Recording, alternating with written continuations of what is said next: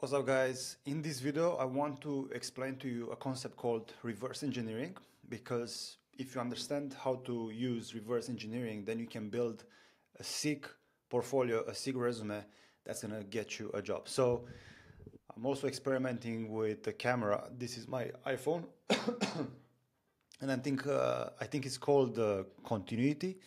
It's like a new feature so let me know how it looks in the video maybe I'm gonna use this instead of the webcam from my laptop. But yeah, let's get into it. Uh, essentially, what reverse engineering is, is pretty much you trying to understand how something has been created, and then you would try to uh, break down the process and the components that have been used to create something into smaller pieces and then you would break down those steps into even smaller pieces and then you would start you know putting them together yourself so you can rebuild the thing, right? So imagine um, someone gives you some sort of milkshake, right? And based on the milkshake, the milkshake's uh, taste, you identify, okay, this tastes a bit like banana, like strawberries, maybe like uh, walnuts or whatever. And then you add the ingredients together, you put them into the blender, and then you drink the drink. Does it taste the same? No. Mm, maybe I should add more strawberry. So then you add an extra strawberry. Then you do it again. Does it taste the same? Mm, no, not really. And you add another one. Then you realize, hmm, this is actually uh, less sweet than the original one. So then you add some honey and what whatever, right? So you do that, and you always ask yourself, like, okay, um, you're trying to become like a scientist and you ask yourself like what is the difference between what i have versus what i need to create okay? So that's kind of the process. It's very simple. It's not uh, it's not rocket science really.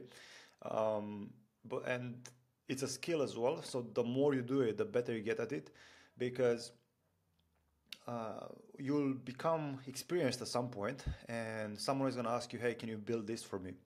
And right now i'm at the point where if someone is asking me hey, can you build this app for me? Or I have this startup idea. I already like built the whole thing in my head, right? I just have to write the code, which is the difficult part really. Uh, but yeah, let's get into it and let's see how you can actually use this process to make money. Uh, and let's not waste any more of your time. So I love Product Hunt because this shows you what um, other people are, are creating nowadays so you can take inspiration. And the thing is if you want to get a developer job you have to build something impressive okay? Cookie cutter apps like color pickers or like calculators and pomodoro those are cool to learn but they are not cool to put in on your portfolio because everyone can do that and those are not really what you'll be doing at your job right? So if you have a, a, portfolio with shitty applications, with Pokemon search apps or whatever, you're not gonna get a job. But if you have a product that mimics the real world, you'll actually get a job. So Product Hunt, it's a place that has a lot of these apps. Some are better than others, some are absolute shit, some are, you know, decent. But what we can do is we can find um, one, or you can find one, and I just decided to choose this one, Note X for absolutely no reason just because it was on the first page i didn't want to really search but you should search for something that you like okay? And what we'll do is we'll go to this uh, website so we can click visit. Then we'll get to this uh, website. And this is the, the the sales page of this product and this should make uh, people like sign up and then later maybe buy right? In my opinion this is horrible okay? You shouldn't choose this project uh, because even this project looks a bit, you know, juniorish.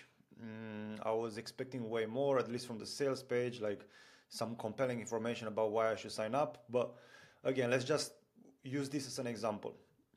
So what I would do from here is I would log in. Let me just do this. Yeah, so this is actually a horrible sign up flow. I, I tried to paste the code they gave it to me and it didn't work so I have to type in manually every character.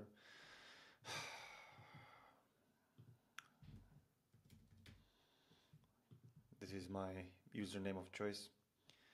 All right so these are all my notes blah blah blah. And then what you would do really is you would become a like like an inspector, right? Imagine Inspector Gadget, like a detective. You would try to find out everything about how this app works. This app is actually horrible. The UI is like this thing is exaggerated. So I'm not only uh, judging junior developers, I'm judging every UI. You know, if I don't like it, I'm gonna tell you why it doesn't look good. But yeah, this button is horrible. Uh, but yeah, I would try to break down every single thing that happens in this app. So for example, I would create a new node. So let's say features. Create a node. Okay. Now let's actually create a node and let's see what happens. So create a new node. Uh, let's say let's say uh, button should be on the home page and when clicked it should redirect to a new page right? That's the first thing that I would do. Okay then let's see what we have here. We have some sort of uh, rich text editor I think that's how it's called. We have a rich text editor. Um, okay. Use AI to generate a title use AI to improve the text. So maybe uh, fix the typos and whatnot or maybe make it more succinct. I think that's how you say it. I should actually try this feature you know so I can understand what am I supposed to do. We can have a, an undo and redo button undo and redo button so we need to keep some sort of history. I have no idea how to do this right? So as you can see I don't know everything. So I will have to play with it to understand it and try to break it down in my head how that would happen you know to actually write the code. So I don't know everything. Nobody knows everything but uh, I have the ability to find stuff you know? And I also have the not only the ability to find stuff I have the confidence that given enough time I can find stuff, you know. So that's why I am not a junior, you know. Uh, I just have a lot of time in the game and I understand how these things actually work, you know. We can toggle the team from here. What the hell? Okay, this is super weird. Let's see. Toggle editor team. I would never do that, but whatever. Okay. I guess this is it. Now, I'm not really happy with this app, right? So what I'm gonna do is, hold on. There is this app called the Hemingway Editor, right? And basically what this app does, as you can see, I actually used it. Um, what this app does is it checks how complicated your writing is. So whenever you write a very complicated sentence, it becomes hard to read.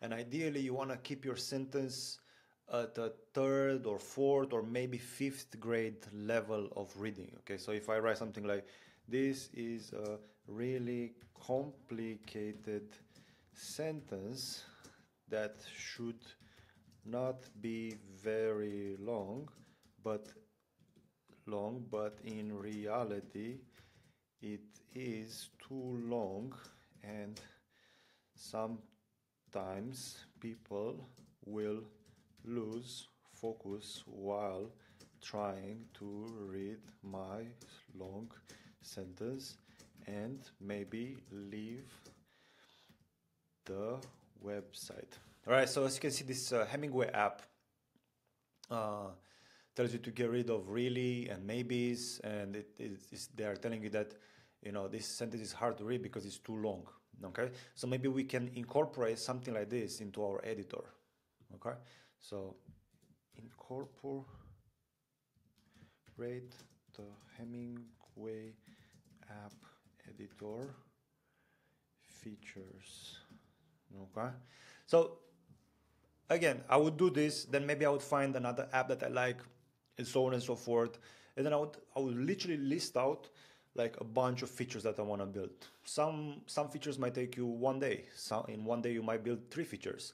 in one week you might build one other feature right it really depends on the complexity and that's going to teach you uh, how to grade different tasks okay this is part of experience if someone comes to me and says i want to do this well i know a specific thing is going to take one day another one is to take three days another day another thing might need be might need be might have to be broken down into like three or four smaller tasks and whatnot so i can complete them and this again is going to give you that experience that you need, the experience that's going to get you paid. So I will do this, and then once I have like a huge list, then I would use something like Trello. Uh, if you don't know what Trello is, let's Google it real quick. It's like a Kanban cards thing. You can also use Notion uh, for this. It, it, the app doesn't matter. Um, just keep track of everything. So put everything in to do or backlog, all these features that you are creating over here. And then day in, day out, you add more, you move your features from to do to in progress, then to done, and then you keep uh, keep track of everything you're doing. Whenever you have to refactor something, you add it in your to-do list and whatnot. So you're just trying to be organized, and with time, you learn how planning is extremely important if you want to be a developer. You cannot just build stuff as you go. And when you start a project, just building stuff as you go, it's really helpful because you want to be fast, you want to be agile, right? But um, as the progress, as the project progresses, you want to be more specific and more patient and more careful with everything you are doing. Okay, but you can only find this out by by building stuff, right? Because people only learn from their own experience. If your mom tells you don't touch the hot stove and you don't listen to her, you touch the hot stove, then you remember I shouldn't touch the hot stove. Yeah. And then to make it look good, because I don't really like this Notex uh, product, I just picked it just to use an example, just so you know what my workflow would be if I would be in your shoes. I don't really like how it looks. Uh, I would go to lexingtonthemes.com. I'm not affiliated with the guy, so I'm not going to leave a link in the description. But I bought this for my own personal website, Navy, and I think you can buy everything for like 200 bucks or something like that. But anyway, I would go to lexingtonthemes.com and click on SaaS. And then you have all these SaaS landing pages and whatnot that you can use to create, you know, the landing page for your product so your product looks like really legit. Okay. Uh, me personally, I think for this specific project that I showed you over there, I think I would choose this uh, Spazio Bianco. I think it means white space or something like that. Uh, I think it looks pretty good. I would add it there. And again, it doesn't have you don't have to have users, but the if you get to a point where you make it look like you have users, you'll absolutely kill it. Okay, so do that. Then once you have this, uh, make a resume. Put this app that you've created. You know, buy a domain from GoDaddy. I think it should cost anywhere between one dollar and twenty dollars, depending on like what name are you choosing uh, put it there, deploy it, and then take that link, put it in your resume, explain your resume every single thing you've done. You can use ChatGPT, you can pay uh, people to help you out with uh, your resumes and whatnot, um, and then apply to jobs. That's that's how I would do it if I would be you. Um, it's it's as simple as as, uh, uh, as it gets. It takes you two months, maybe three months to do this process by yourself. Um, then you're gonna get paid. Yeah, for some people might take longer, for some people might take less time, depending on how skilled you are. But it's not rocket science, so at least give it a shot. I don't want you to be one of these people. Hold on. Like this guy, dude, do you expect a graduate to build a professional website like Twitter? I graduated this year, June, and I'm struggling to get an entry level job internship. And some job descriptions are like three, five years experience junior dev, and me with my school project is wild how junior dev are now serious. No way. Switch to another career. Like this guy, and it's not his fault again, he just doesn't understand that this is like making this stuff that I told you is in everyone's reach. Okay? It's just you have to be creating like a ready to go product. It's you don't have to create Twitter, you don't have to create Facebook. This is what people don't understand. It's like, hey, there is one more step that you have to go from where you are to to get where you want to get. And if you don't want that, if you don't want to make that extra effort, and it's not even like extremely difficult effort. Um, if you don't take that step, then you'll be where you are for the next, I don't know, 30 years. Life is short. Like you are going to die soon, right? We have one life. Do the work now so then you can relax later. Why drag this for years and years? Like if you're going to switch to another career, trust me, it's not like in other careers it's easier. You are still going to have competition and there will be people who are there um, looking to go the extra mile to work harder than you or not, and then they will leave you behind. Um, it's it's as simple as that. If you don't want to do the work, that's okay. Just don't complain about it. But this is how you use reverse engineering to get a developer job, to get paid. And if you do this, you'll really stand out. You'll really stand out compared with everyone else because, as you can see, this is the mindset now. I'm not gonna do it because uh, why are they expecting this from me? Okay, so you have no competition really. It's just a lot of noise at the bottom. Okay. Anyway, I hope this uh, video helped you out. I'll see you in the next one. Bye bye.